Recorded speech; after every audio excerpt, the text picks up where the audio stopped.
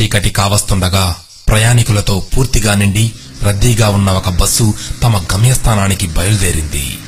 ఆ బస్సు ఒక అడవి గుండా ఘాట్ రోడ్డుపై ప్రయాణిస్తుండగా అకస్మాత్తుగా వాతావరణం మారిపోయి భయంకరమైన ఉరుములు మెరుపులతో కూడిన కొండపోత వర్షం ప్రారంభమైంది. ప్రయాణికులందరూ చూస్తుండగానే ఒక పిడుగుపాటు వల్ల బస్సుకు యాభై అడుగుల దూరంలో ఓ చెట్టు పడిపోయింది.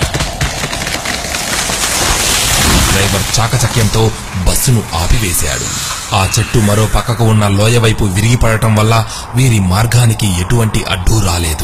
కొద్దిసేపటి తరువాత మళ్ళీ బస్సు బయలుదేరింది. ప్రయాణికులందరూ ఊపిరి బిగబెట్టుకుని కూర్చున్నారు. ఆ బస్సు మరో రెండు కిలోమీటర్లు వెళ్ళిందో లేదో మరో పిడుగు బస్సుకు నలభై అడుగుల దూరంలోని చెట్టుకు కొట్టింది. డ్రైవర్ చాకచక్యంతో మళ్ళీ బస్సును ఆపేశాడు.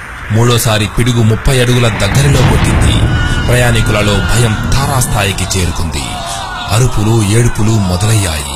అప్పుడే బస్సులో ప్రయాణిస్తున్న ఓ పెద్ద మనిషి. చూడండి మనందరిలో ఈ రోజు పిడుగు ద్వారా మరణం రాసిపెట్టి ఉన్న వ్యక్తి ఎవరో ఉన్నారు. అతని కర్మ మనకు చుట్టుకొని మనందరం కూడా అతనితో పాటు చావవలసి వస్తుంది. నేను చెప్పేది జాగ్రత్తగా వినండి. ఈ బస్సులో నుంచి ఒక్కొక్క ప్రయాణికుడు క్రిందికి దిగి అదిగో ఎదురుగా ఉన్న ఆ చెట్టును ముట్టుకొని మళ్ళీ బస్సులో వచ్చి కూర్చోండి.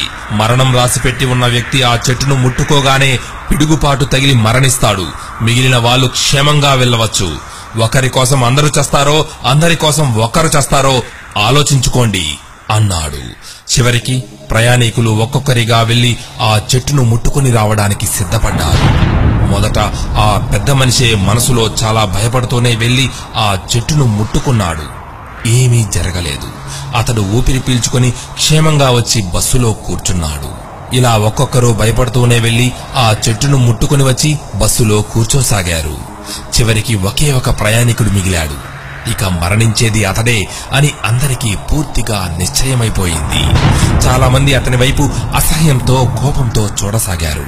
కొందరు జాలిపడుతూ చూడసాగారు. అతను కూడా భయపడుతూ బస్సు దిగి చెట్టును ముట్టుకోవడానికి నిరాకరించాడు. కానీ బస్సులో ప్రయాణికులందరూ నీ వల్ల మేమందరం మరణించాలా? వీల్లేదు అంటూ బస్సు నుంచి బలవంతంగా అతన్ని క్రిందికి నెట్టారు. చేసేదేమీ లేక చివరి వ్యక్తి వెళ్ళి ఆ చెట్టును ముట్టుకున్నాడు. వెంటనే పెద్ద మెరుపులతో పిడుగు వచ్చి కొట్టింది. తరువాత భయంకరమైన శబ్దం వచ్చింది. కానీ పిడుగు వచ్చి కొట్టింది ఆ చివరి వ్యక్తిపై కాదు బస్సుపై. అవును బస్సుపై పిడుగుపడి అందులోని ప్రయాణికులందరూ మరణించారు. నిజానికి ఆ చివరి వ్యక్తి ఆ బస్సులో ఉండడం వలనే ఇంతవరకు ఆ బస్సుకు ప్రమాదం జరగలేదు.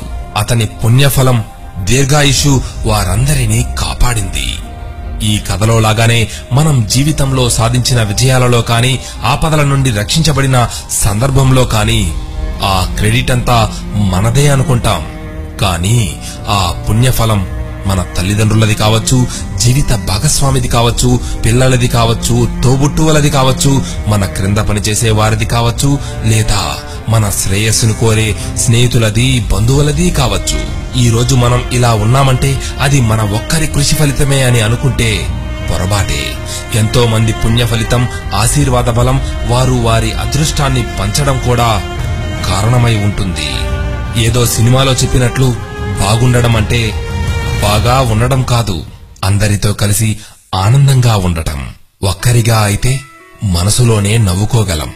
కానీ అందరితో మనస్ఫూర్తిగా ఆ నవ్వును పంచుకోగలము ఆనందాన్ని పెంచుకోగలము. ఏమంటారు? సర్వే జన సుఖినో భవంతు.